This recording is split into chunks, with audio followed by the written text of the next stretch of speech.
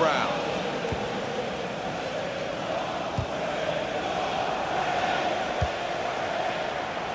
And here they are on the attack. I think he saw the look from the other player and saw where the pass was going and read it. Scott Sinclair. This could be a chance. Got to be. And they have scored. And they do lead now by two. And they've